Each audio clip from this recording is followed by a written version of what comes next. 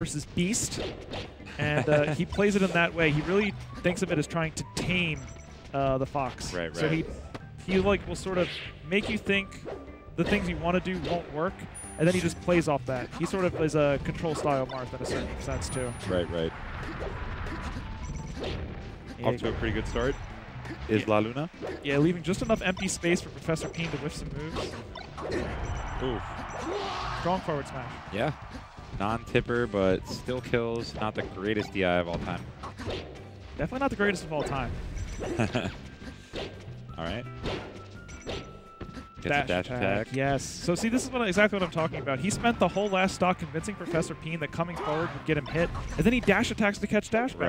Right, right. Like, how does he?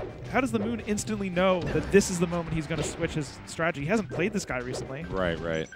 It's just incredible that uh, he can Yeah. do that. It must be something about the way he moves that like will coerce someone to switch their game plan. Yeah. And great Amsah tech on the right side there to keep La Luna living for now. Okay, goes for another down tilt. Unfortunate that he missed his wave dash right there, but still in pretty good shape. Uh, yeah, ready for the slide off the platform. Able to get the forward smash. Two forward smashes, two stocks for La Luna. Yeah. One slash, one kill. Oh, another forward smash. And let's see what he can do with this. Not too much. Thought he might go for an up air there, but opts for back air. Okay, waiting for the shield drop, throws out an up tilt. And I think the up tilt was rather safe from a uh, shield drop back air if it were to hit on shield too. So Uh-huh. nice counterplay. Oh. All right, and okay. A little too early with the down air. Yeah, he was expecting maybe a high angle there. That was a, definitely a very uh, thin one, Yeah. I suppose. Shallow angle. Sharp angle. That's the one. Yeah. Acute. That was acute angle. but yeah, um, Professor Peen not able to get too much going so far. I mean, the only kill has been La Luna killing himself. so Yeah, and La Luna definitely uh, very good edge guarding so far. And like I said, he's just Professor Peen at this point. So he's been shown that he can't come forward and that he can't come back. And this is where La Luna really starts to shine. Like, where do you go? Do you just stand still? Like, that's not going to work either. yeah,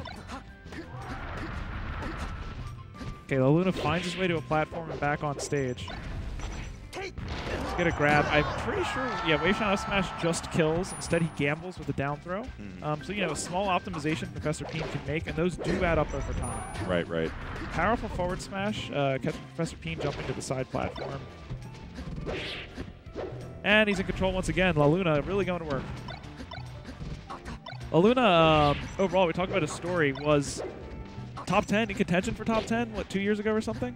Yeah, he Uh, wasn't maybe far off. He was uh, at least top 15. And then I think a mix of Mexico and Overwatch happened. oh, I And, didn't uh, know he played Overwatch. Ooh, He, nice. he was a Mercy uh, that eventually an Ana main when it came out. But uh, he wasn't like super an Overwatch player. He just enjoyed it. I just mean like other things were happening in his life. right, right, right. Um, and he sort of like, I'm not going to say he fell off, but he certainly wasn't hot on the chase of the top players. Right, right. And like now he's kind of like making his way back. Like we've Yeah. seen improvements from him in recent memory. He was uh, dis- not disappointing his fans, but everyone knew he could do more than what he was. Yeah, he was just not living up to his potential. Um, and we all kind of felt that. Great first stock from Professor Peen with these shines, uh, getting that early kill. But yeah, La Luna, I think he's starting to sort of get back to the form that we came to expect. Like, Yes. when, like when he beat Leffen at Evo and stuff like that, he just established such high standards for how good he was.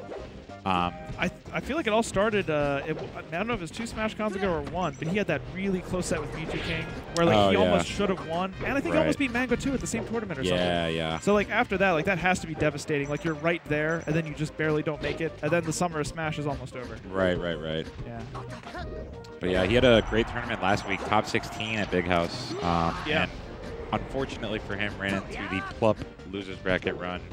Which was just a force to be reckoned with. Yeah, um, Plup obviously getting all the way to second place after starting in uh, round one losers of top 64 because of that upset by Bananas. And it's just bananas. Ooh, nice. Nice little shine there from Professor Peen. So, despite the overwhelming amount of neutral interactions that La Luna has won, this is a tie game because of a few shines. Yes, it is the story, a tale of two shine well. Yeah. And and uh, a tale of many slices and edge guards from La Luna puts him up one stock here on Dreamland. Yep.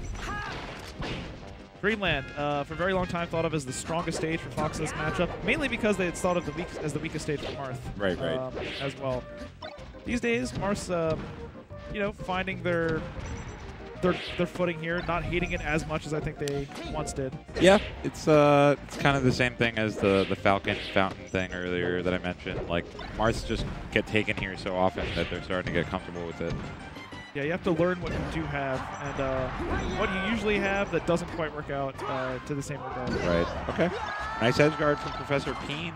Last stock. I mean, one more shine gap. We've Yeah, seen a I couple mean- of already, right? If he can make that happen again, then that's that's a great look for him. But he's just trying to win it, win it outright. It looks like good movement from Professor Peen, but might be too little, too late. Reverse Dolphin Slash not quite connecting. Definitely would have been it. And Professor Peen is on the move now. Yeah, got La Luna up to 64 already. Unfortunately, ends up putting himself in the corner in a sense. Yeah. Trapped by the uh, DI mix up on the throw. Right. Ends up getting KO'd. Yep, yep. Professor Peen, I think I am seeing a lot of forward aerials, which is not something I necessarily expect to be a problem for him, Uh-huh. but maybe a little bit of undershooting to stop uh, La Luna from, you know, running and getting those dash attacks, getting Yeah. the big slices. Might help his case a little bit. Right.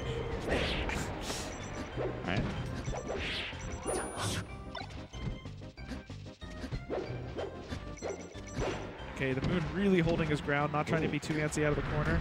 Okay. Gets a burn, but La Luna able to grab the ledge without needing the up Wow, what a down tilt. Okay, thought he would go for the up B. He's dead, yeah. Uh, you know, that's that's one thing that La Luna has not taken from Zain is that just up B uh, to cut off Fox's up B once, once it's uh, starting up like that.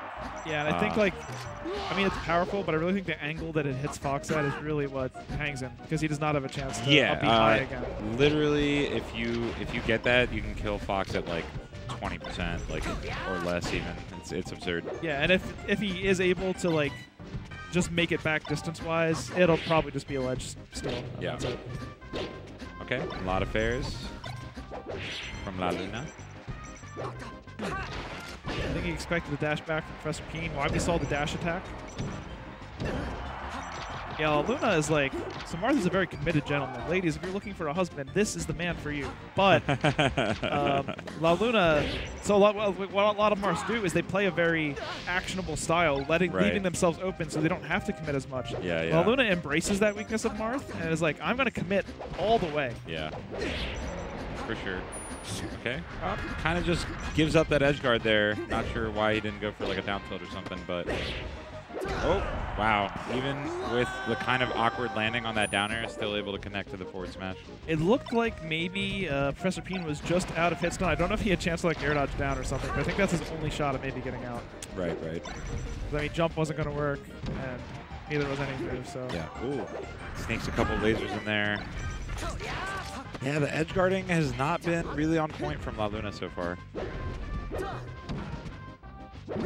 yeah, Professor Peen with a slight lead in this game, not able to close that one out. He does right there with a forward smash. Nice, nicely done from Professor Peen. Looked like it might be that shield glitch, the ADT shield, where you like try to shield and then it just you don't don't block. Right, right. I hate that. Yeah, it's weird. Okay. Nice little combo from La Luna. See if he can finish it off strong. And he does. Yeah, very strong with the dair. Yeah.